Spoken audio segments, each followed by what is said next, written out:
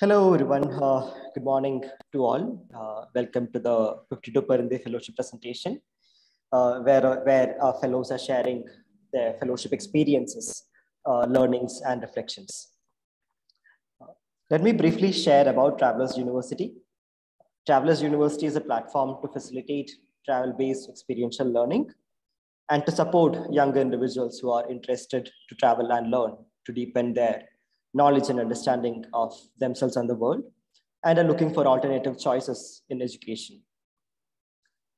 It is a platform to nurture curious minds, encourage questions, and push one's thought process by giving them an exposure to traditional knowledge systems, varied, sustainable, and regenerative solutions available, varied philosophies, ideologies, and realities. At Travellers' University, uh, we believe the whole universe is a learning ground and that experiences invoke one's innate curiosity, which is fundamental to one's learning. The 52 Parindey Fellowship is a program for youth exploring Alivelihoods, meaningful and regenerative livelihoods oriented towards social and ecological well-being, and dreaming of a sustainable, equitable, and just world. We have seven fellows in our first batch of the fellowship, each of them with different interest areas and domains they wish to engage in in the long term, such as independent media, alternative learning models, conservations, food systems, etc. The major part of the fellowship uh, for the fellows to build their understanding of their areas of interest was to travel and meet with Parindeys who had already walked these paths of livelihoods. Each fellow had their individual journeys. They spend 8 to 12 days with different Parindeys or livelihood practitioners, observing, engaging, and involving their work, thus developing a direct first-hand learning and understanding. They have also documented the stories of these Parindeys, how they came to be doing what they're doing in both written and video formats, structured information on how to pursue these meaningful and regenerative livelihoods are also being made available.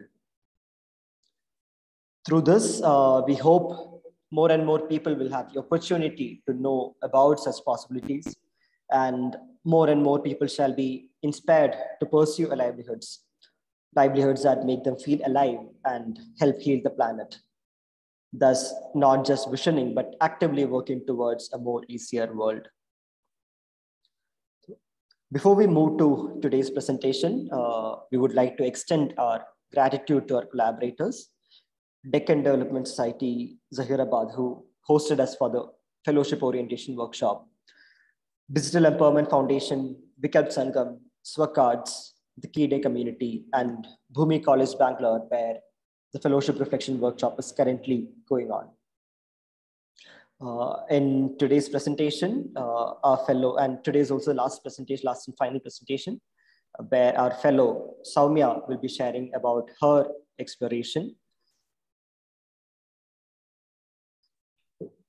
As part of the 52 Parindey Fellowship, Saumya explored food systems in seven different states and experienced a diversity, humanity, and love at each location. Her initial focus on food systems and sustainability has now expanded to cover conservation, activism, and value addition in different forms. So that is a map of Saumya's journey. Uh, yeah, so all her seven parindeys are from seven different states of India. Um, and yes, I will invite Saumya to share about her journey. Okay, uh, thank you, Ashik, uh, for that introduction. And uh, before I start or talk about my journey and experience. Saumya, just a moment. Your face is not visible in the camera, so I should go a little behind. Yeah, that works. Yeah. This is okay? Yes. Okay. Thanks.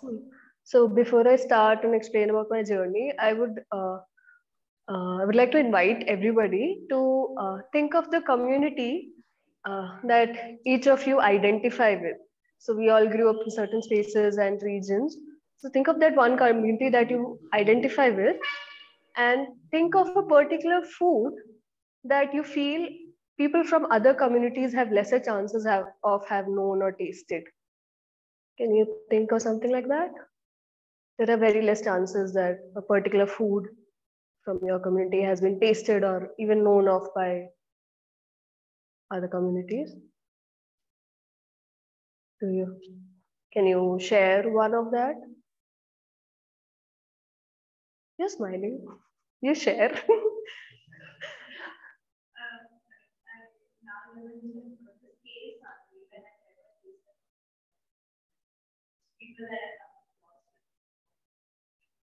Ker sangri.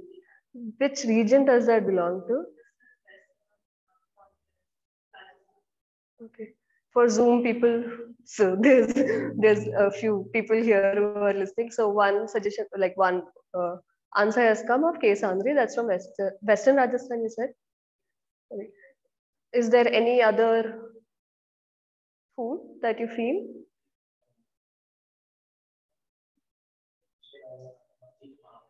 मक्के का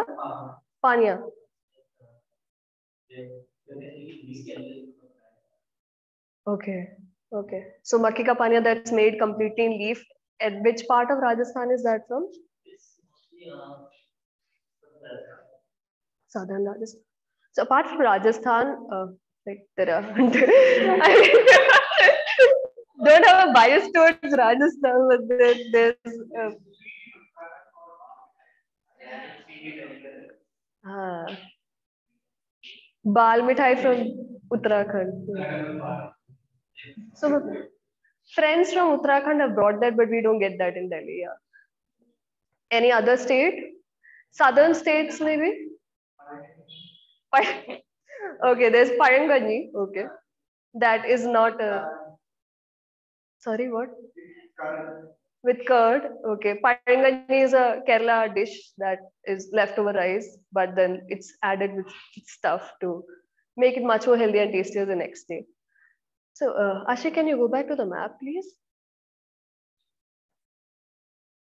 So, uh, as you would see, the map has me going to seven different states, and like like some of you shared, you know, there are food uh, that are very uh, local to a particular region and it's very rare that people from other regions would have had it. In that same manner my experience with exploring food systems and sustainability has been that even when i was not crossing over to a state even while crossing a particular district i was seeing a varied perception and relation to food and the experiences that people associate with it with and in a multicultural and you know very vast subcontinent like india that has coastal areas on one side hills mountains the kind of food and the relation and the effect of a global environment on food is bound to change with time. So my journey was to explore how these things these layers intermingle together Ashi, can we move forward? Yeah, next slide. So, uh, I asked about communities that each of identify with. I was also with food is based on the identities we build or the kind of privileges we grew up with. Sometimes I owe my identities and privileges because a lot of time uh, my identities have turned out to be privileges in certain contexts. So that has also affected how i build my relations with people how our communication happens how that communication translates into action or some form. So these identities help me uh, were part of me wanting to explore food systems in some form and and you know start my travels in the first place in the first place. So uh, how i define food systems and sustainability i had to break it down because i was saying is food systems exist in its own social context but then it frequently overlaps with the political context. And that has been how my journey has shaped in the past three months. Uh, ashik next slide Ashish. So So these three are from three different spaces. And uh, when I say food systems for the past three months, every day I have had one or the other different food and I couldn't document all of those foods. And I could just take a few pictures before I ate the food. So this was uh, this was kids in uh, Andhra Pradesh plucking berries from plants that they had planted themselves. The kids had were part of the uh, efforts by my Parindey, Parinda in Andhra Pradesh to rewild hills around their village. And the kids had taken efforts to rewild their village, take the plants, set up a nursery, grow their food, and connect to the food that was around them. And when we would go for uh, nature walks, one part of it would be them finding food on on the nature walks. It would be berries, it would be fruits, and it was one experience that I have never had as an urban city dweller. It uh, because as a city dweller, what I get is a money-based transaction for food, but I could see these kids have a very you know moneyless, very love-based transaction with food and then this is corn that the tribal communities in Chhattisgarh were growing. Different American sweet corn that we are used to. It's very yellow. But this one was in very beautiful golden yellow, like the sunlight here. And the apart from the golden yellow colors, there's different colors of corns that they grow, maize that they grow according to different seasons. And oh, great. And it happens. And what has happened is uh, growing up, I have not seen these. It's like I've only seen the American corn one.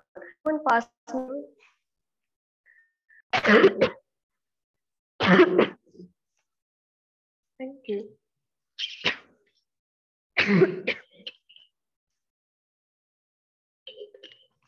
Sorry about that. Yeah. And this is uh, from my Parinder's house in Gujarat, where they would dry, sorry, dry vegetables for the year round, pickle them, and use it how they felt like it. In all these pictures, one common saw the connection to connection to the land and the food that was grown by themselves. and um, all the traditional techniques of saving food in some form, because this corn would be dried by them. These berries would be kept, like some of them they would eat and they would store the berries for the seeds. and in the same manner, um, next slide. um, this is uh, my she's drying uh, uh, what is that? Oh that is pumpkin. She's drying pumpkins to use uh, for year around. And that is a, a knowledge that my parindey gained from her grandmother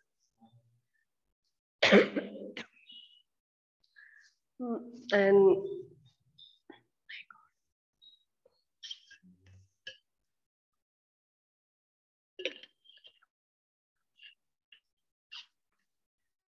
hmm. and sorry.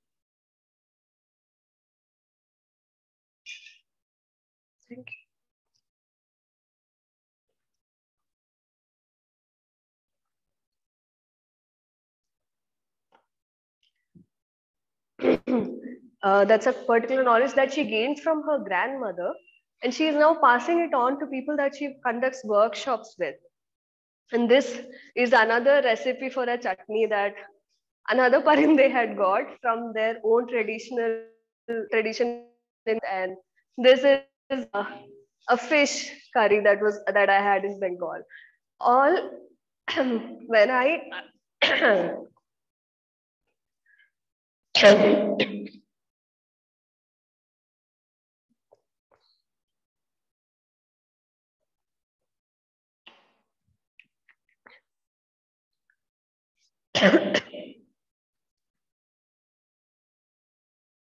Yeah, sorry about that, people.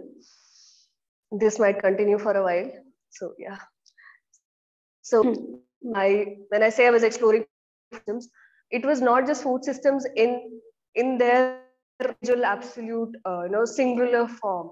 It was also the connections or relationships that it was based on. it based on information that was passed on through families. It was based on the particular climate at a place. It was based on a particular you know region that the parindey or the families or the food growers were based in and this might look very romantic and beautiful but then what i felt was there was a certain there were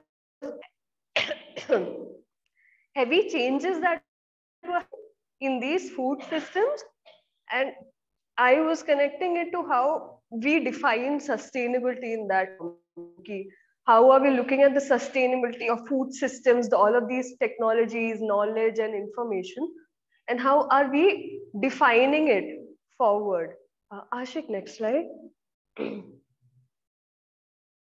so for me sustainability when i was looking at the food systems that all my parindeys were part of or they were growing food or all of the thirds they were to ensure food systems that had existence existed since older time, existing in their proper forms, but adjusting with how times are changing. I was defining sustainability in two ways. One is one was based on environmental sustainability, that is of even a form of food in in the environment, how that is facilitating stopping that. And the other was sustainability in terms of growing of food in the first place what is what is affecting their choice to continue growing food. Ashik, next slide. this is a very crude form of how I uh, how I looked at the version of food systems and environment sustainability. This is a very crude form. It does not go deeper, but then one major thing was how I had seen uh, paddy being cut, put on the paddy uh, paddy borders, and because of the rains, they were not drying. And if the paddy does not dry, it cannot be threshed and winnowed and used, uh, you know, and the rice cannot be taken from the paddy to survive for the next season for people or to sell it forward.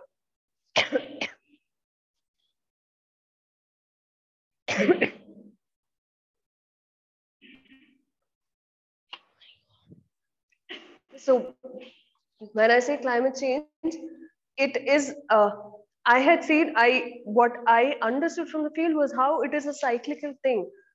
A lot of times because of climate change, as I said, paddy is uh, lesser and then there's reduced produce. And that is leading to people using more chemicals on field. That is leading to health issues and these health issues have made people more economically disadvantaged and dependent economical disadvantages which translates into reduced produce for their next cycle of crops. And this is Srija and Madhu. They're walking through the paddy field that has been ravaged two, three times by tidal floods and cyclones that have happened in Kerala. And they are living testimony to how climate change affects survival and the you know existence as food growers in the first place because as i see it even though there's so much happening on field i don't see any form of government support or any form of hand holding from people who should be holding hands of people who grow food for us. Thanks. So an asterisk here. I'll ashik can you go to the next slide?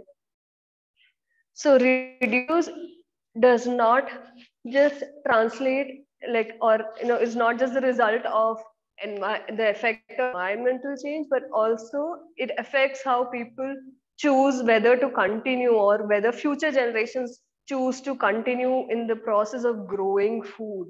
And the city aspirations that are being sold as being more safer for a gen for the next generation where you have to sell your land to you know ensure they get educated in the mainstream method and then the land is left fallow taken up by another construction agency and then it's gone this is Bhairavji. So he conserves rice, he's an activist, he farms, and and he expects or wishes his son to do the same because he knows how important food is for survival. He focuses on food as a survival technique, but then his wife talks about how she wants their son to not continue farming. She wants their son to go to a city, work, and have much much more stability and safety in terms of economic. But then a farmer's perception is more towards food security instead of economic or just financial security. So these were two aspects that mainly you know i saw were main bigger challenges that were being faced by food growers. And when i say also when i when i just the challenge to talk about the resilience that several of my parindeys, including Bhairavji, have been supported by well-wishers to tide through whatever uh, hardship facing. Like, like I believe all of my parindeys are dependent network of friends and well-wishers to survive. And that and this sort of there's a sense of community ownership towards the land that they own. As in, if one suffers, it is believed that okay we all hold hands together and we tide through this together and another thing that i had noticed was how value addition is being taken up as a means of survival too it's the, because just growing food and selling it directly is not working there's no market systems that connect people that come to farmers in you know the far away regions of this very vast continent. Ashik next slide. And to you know define how this is changing these three words define everything for me in what is happening with food systems and sustainability or politics of food. These three words define everything in terms of uniformity conformity cheapness the kind of fast food we get the kind of fast fashion we are you know encouraged to follow the kind of uniform religion the kind of uniform food that we are told to practice as a Akhand Bharat. It's it's a political statement to make, but then I guess it's the right place to make it. So, oh, does it look a little too yellow? yeah. So, I mean, if you look at how food systems are set presently, the kind of food that people had shared right now, ki, some people from other regions might have, have tasted it, like Parangani, but then it is slowly being sold in Delhi.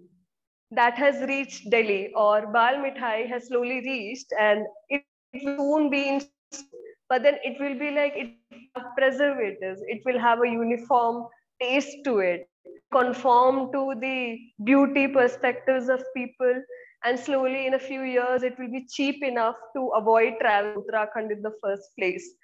And that is how food system and and it's not just about how uh, you know the food is reaching it's also about how human labor is being looked at in the uh, in the context of food systems because food systems are not devoid of the human labor that go, goes into growing the food. And mainly it also includes the different uh, the the women and particularly women from disadvantaged caste groups that work. There is a cheapness associated with them. There is a, a, absence of identity associated with them that makes them easy labor in these in very uh, market oriented food systems and these three words also define for me the quality i could see in the food systems that uh, I was exploring and interacting with in the journey. Ashik, next slide. Yeah, so when it comes to, and in terms of how travel was, why travel or how travel was aiding me in this exploration was, it was opening, it is, it has opened up more avenues of exploration for me there is still much more to explore. There are still much more places to go to. There are still much more gaps that I have seen that are being filled by people, and but they are being filled in different places. So a Parindey in Maharashtra needs help from a Parindey in Chhattisgarh to understand how to connect himself to a farm, uh, to a market. That is like how like gap they don't know each other. So like things like these have picked up for me because I was moving around, I was meeting them, but then they do not have the like a farmer or a person tied to does not have that sort of uh, I would say in this context, a privilege to move around and explore more uh, opportunities like that.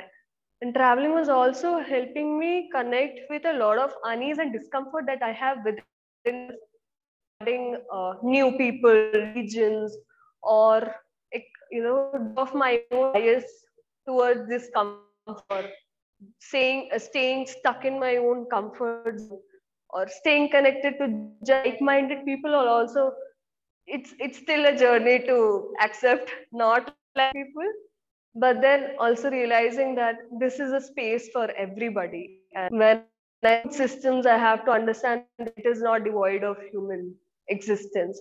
So that was a major uh, i would say an insight that i gained while uh, traveling but then it's still an ongoing process the three months were not enough for me and it's still an ongoing process for me. ashit so all of my parindeys and me included, it's a collective decision from our side that we do not associate farming, food growing, environment or any form of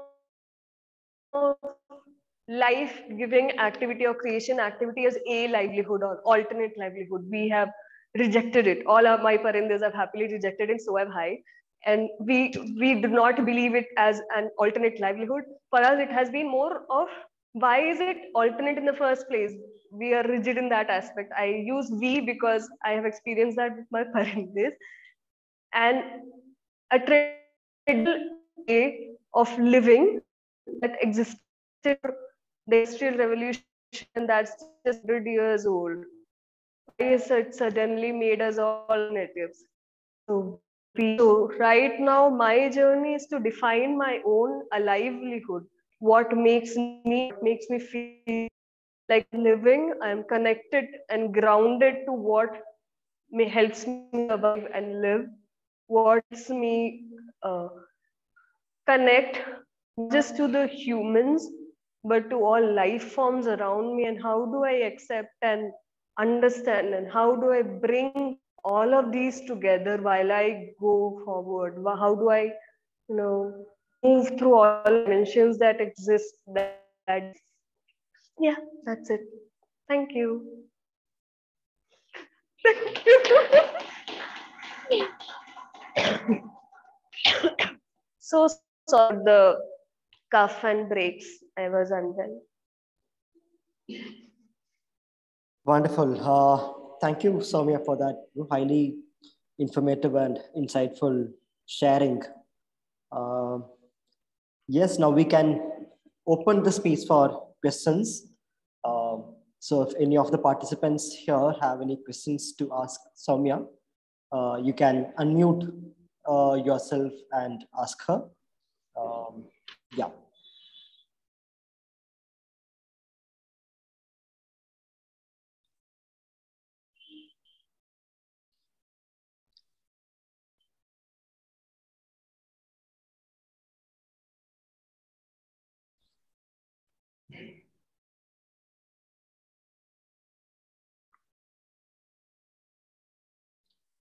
Yes, Shruti. Uh, yeah, please go ahead.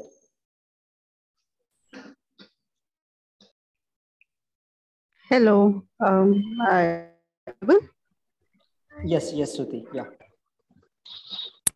Hello. Am I? Yes, Shruti. Yes, we can hear you. Okay. So I, yeah, Saumya, and I I want to say really beautiful presentation and you upon of uh, long, intricate aspect systems that's usually, you know, ignored by people. People like to, you know, push it aside. Uncomfortable truths about the food system. And I want to cheer that. I want to cheer that you brought that to the forefront. You brought that in your presentation. Curious about uh, how do you not hear? I don't know if you shared it. Um, if you did, you can ignore the question. If you didn't, then I would love to hear what is your way forward.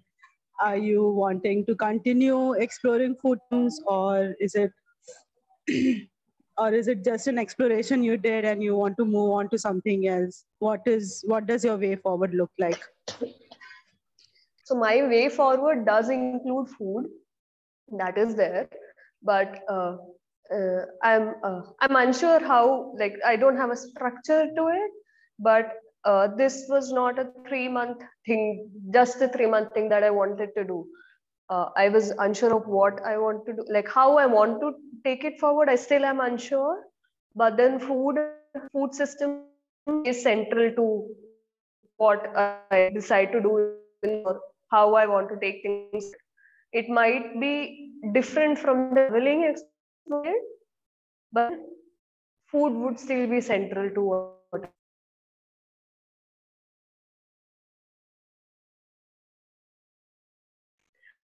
Was I audible?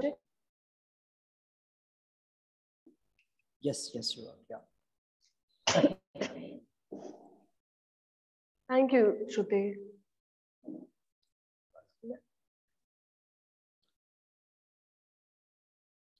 I guess there are uh, Saumya's as well here. Purvi, Sricha, would you like to share something? Necessarily be question, but you can just share anything.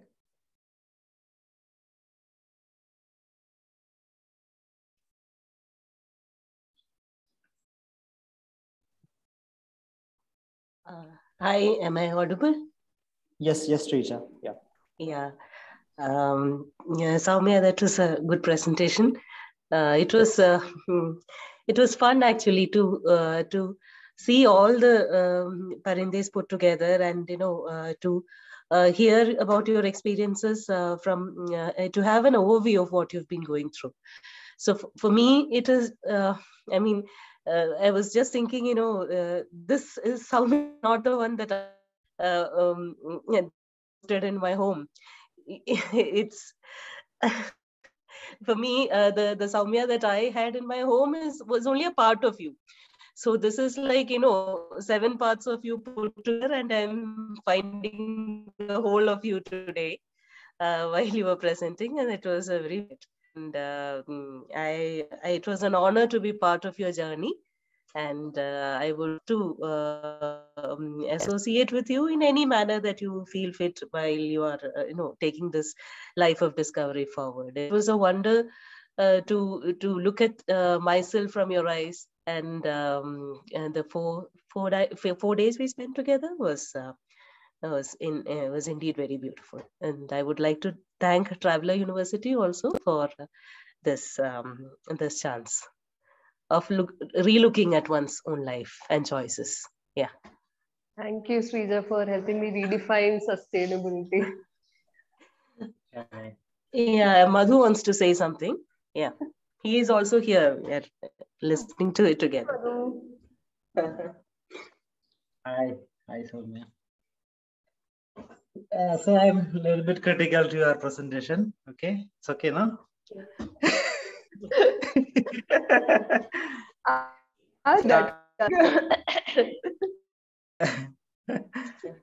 so, uh, start to this point. Uh, how can you go forward?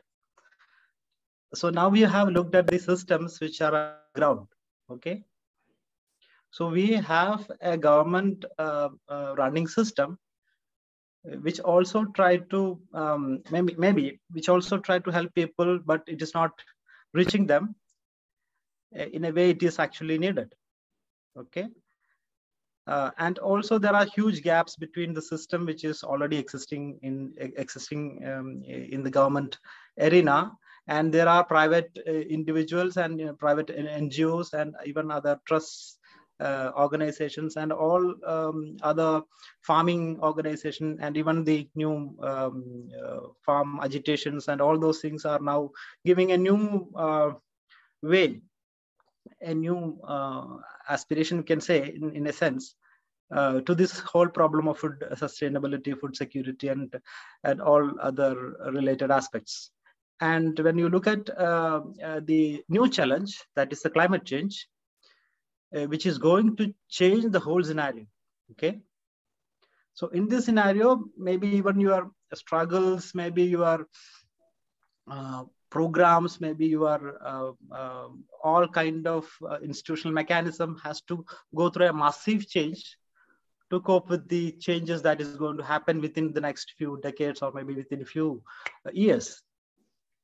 So to, to understand these changes, that is what we are now facing in the field, it will be better to look at also the government system, how the government is trying to address these systems and what are the what are the ways in which government is trying to implement some of the schemes and others. So how the farmers can access to it.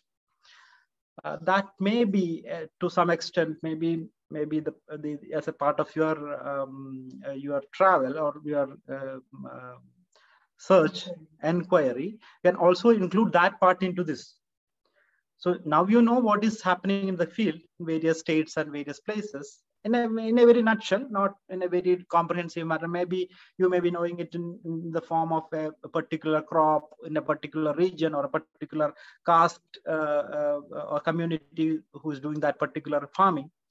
But uh, you can see the, the various kinds of schemes and things which is already existing in place and this can be connected to that parindeys or maybe the communities who are doing the agriculture and maybe there may be changes in the schemes and plans that is government is bringing about in these these areas in in a, in a nutshell you can look into all these things and uh, link what are the possible ways in which you can um, go forward Thank you for the suggestion. Yeah, that is a big gap that I felt. So, like you guys were trying to cover that gap with government and on field, but then yeah, it is a gap that I've seen. It can be like, of course, like I said, I'm not fixed on what to do forward, but then yeah, I can add this to my list of ideas to work on. Thank you, Madhu. Yeah, thanks. Thanks, Srija. Thank, Thank you, Srisha and yeah. Madhu. Uh, Purvi, uh, would you like to go? Hi, Saumya. It's so Hi. lovely to you. I hope you're feeling better. I'm sorry I missed a little bit of your presentation due to network issues. Um, I would like congratulations and welcome to the world of food. You've just scratched the surface of, you know, everything that entails food. Um, and it'll get messier and complicated and you know more complex as you try to navigate your you know ideas and thoughts through it so wish you all the best and um, just like all the other parindeys it was very very good and lovely to have you with us and we are here to help you through the journey as and when you want um, so I wish you all the best and take care and stay safe. Thank you so much, Purvi. You're so lovely.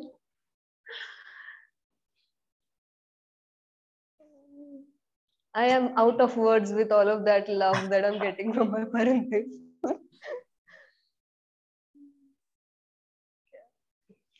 Yes.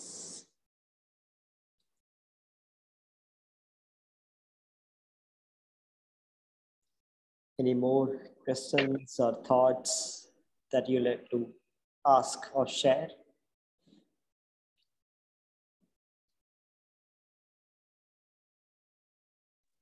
I have one question, if I may.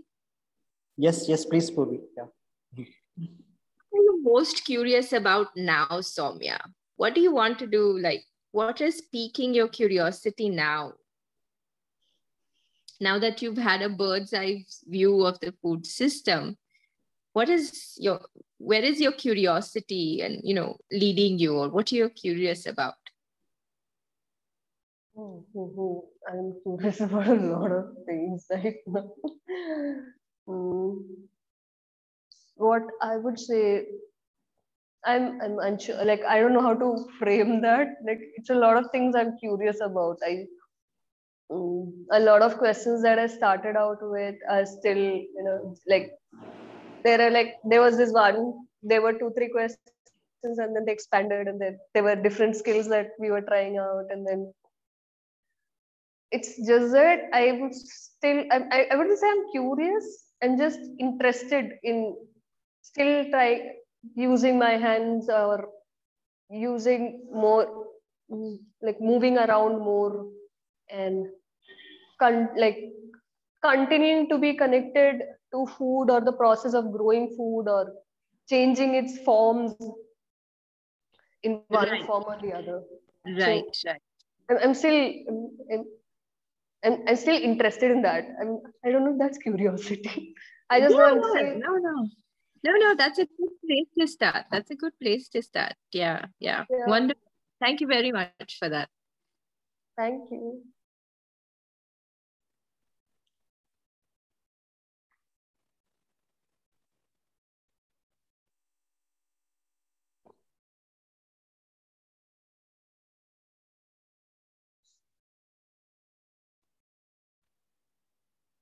Hmm.